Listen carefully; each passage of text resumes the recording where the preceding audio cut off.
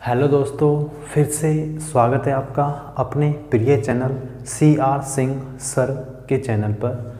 आज हम ninth class का chapter three atoms and molecules concept map के द्वारा जानने वाले हैं। बहुत ही जल्दी हम पूरे चैप्टर को रिवाइज करने वाले हैं, बहुत ही कम समय के अंदर।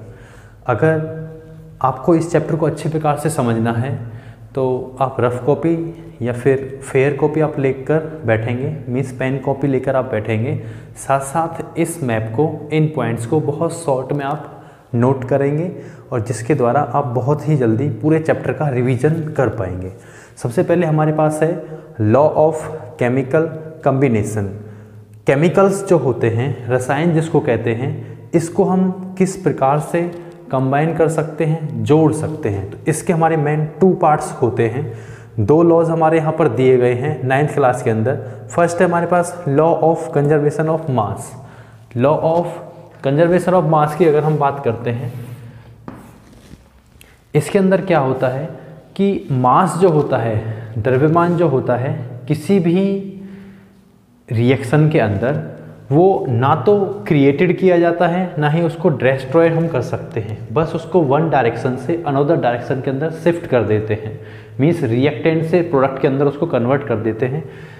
द्रव्यमान जो होता है, ना तो उसको हम उत्पन्न कर सकते हैं, ना ही उसको हम नष्ट कर सकते हैं। जैसे कि एग्ज़ाम्पल आप देख सकते हैं C plus O two carbon को जब हम ऑक्सीजन के साथ जोड़ते हैं, हमारा बनता है सी ओ टू यहाँ कार्बन का मास होता है बेटा ट्वेल्व ग्राम ऑक्सीजन का मास होता है थर्टी टू ग्राम। और CO2 जो होता है, दोनों को कंबाइन करके बनेगा 44 ग्राम मीन्स पहले जो हमारे मास था, उसको हमने क्रिएट नहीं किया, वो पहले था ही। हमने इसको एक डायरेक्शन से अनदर डायरेक्शन के अंदर शिफ्ट कर दिया। पहले वो 44 था, बाद में वो 44 है। It means that mass can neither be created nor be destroyed next हम आते हैं law of constant proportion constant का मतलब क्या होता है? कॉन्स्टेंट का मतलब होता है निश्चित। मीन्स अनुपात जो होता है, इसको हम निश्चित अनुपात का नियम भी कहते हैं कि कंपाउंड जो होता है वो कंसिस्ट होता है।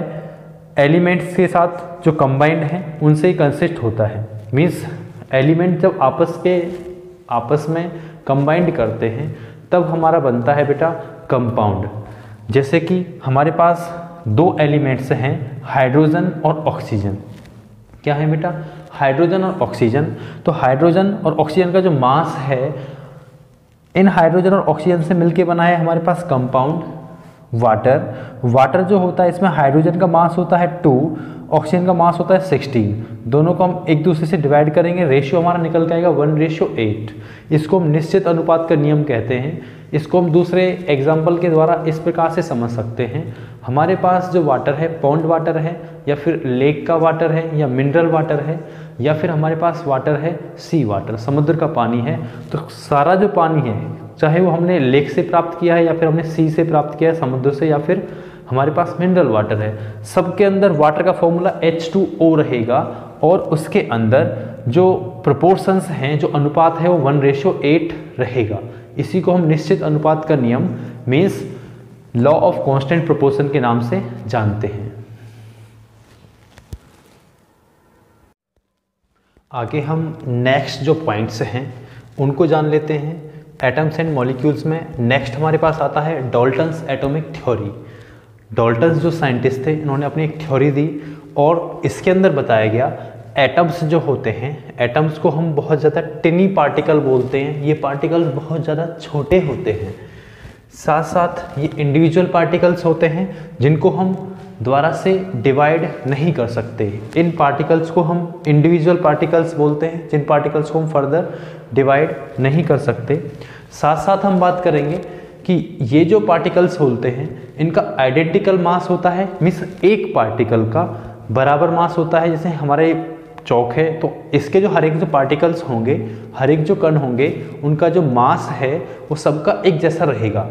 लेकिन साथ साथ इनकी जो केमिकल प्रॉपर्टीज़ हैं, वो भी सेम रहेंगी। क्यों? क्योंकि वो सेम एलिमेंट से मिलके बने हैं।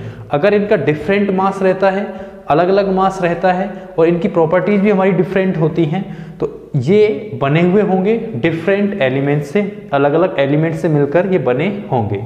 अगर इनको कंबाइन करते हैं हम सेम रेशियो के अंदर, हमेशा ही हम इनको कंबाइन कर सकते हैं सेम रेशियो के अंदर। ही डॉल्टन्स एटॉमिक थ्योरी के कुछ हमारे पास पॉइंट्स थे।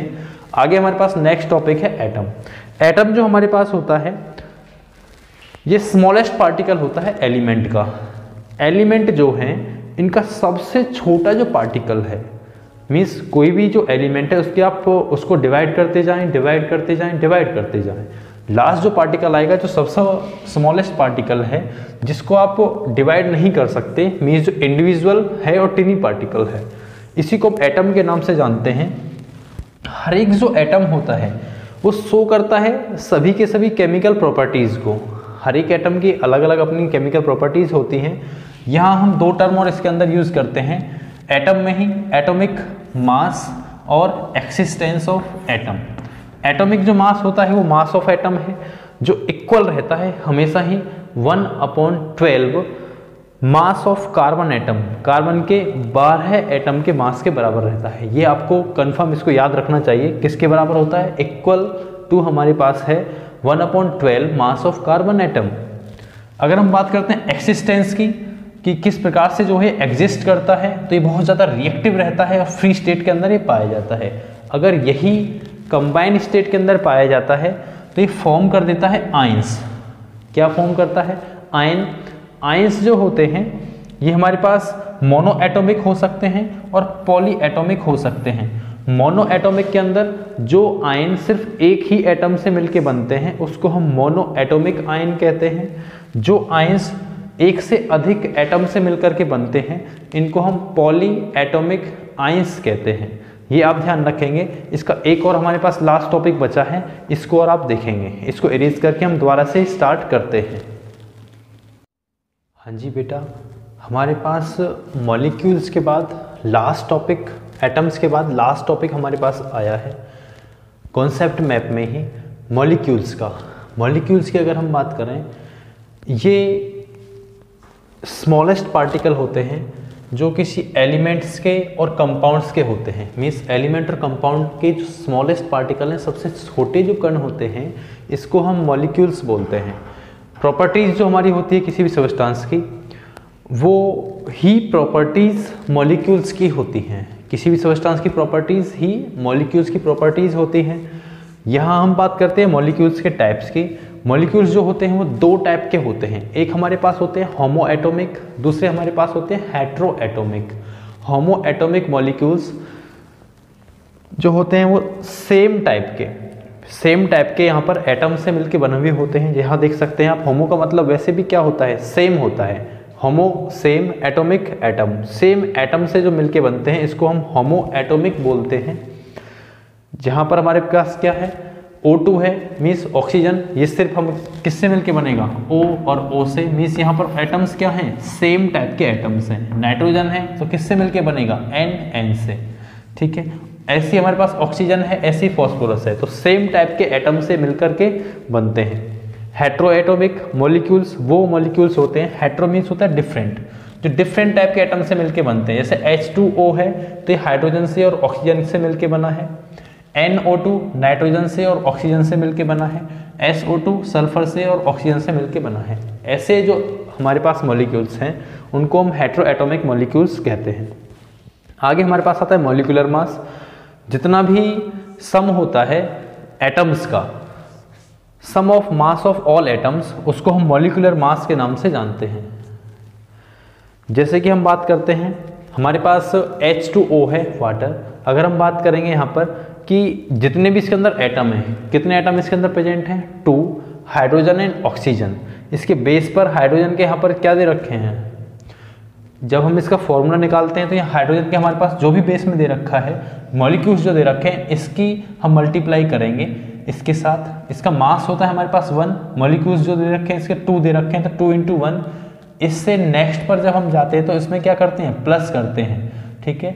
यहाँ पर अगर O2 होता तो यहाँ पर आता टू कुछ भी नहीं है तो आप लगाएँगे यहाँ पर वन ऑक्सीजन का मास होता है सिक्सटीन कंप्लीट हमारा क्या बना? टू वन जब वन और सिक्सटीन कितने हो गए?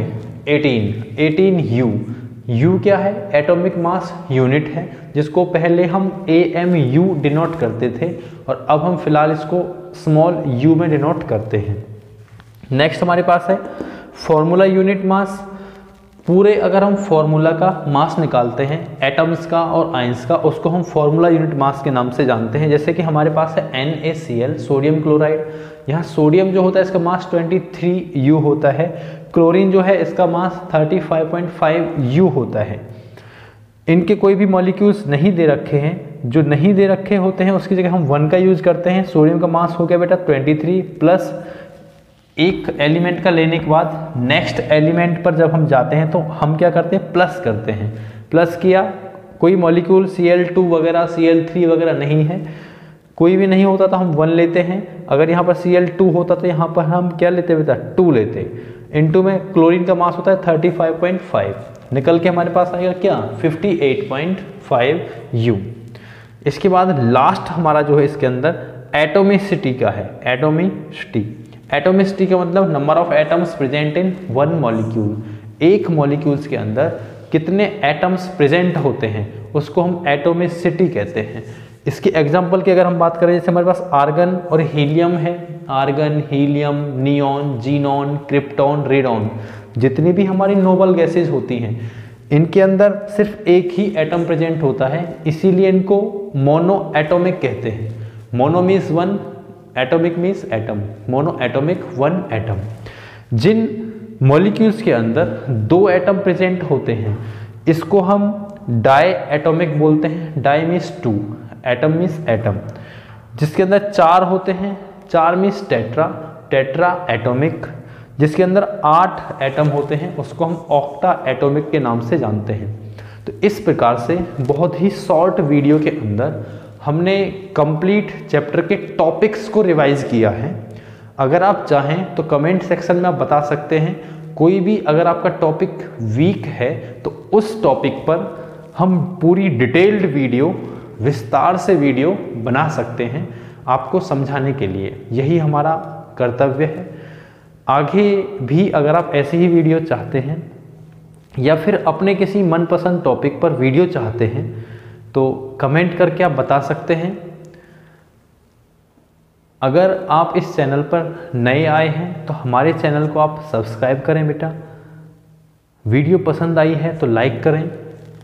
आगे नोटिफिकेशन प्राप्त करने के लिए बेल आइकॉन को प्रेस करें। ओके बेटा, thank you thank you so much.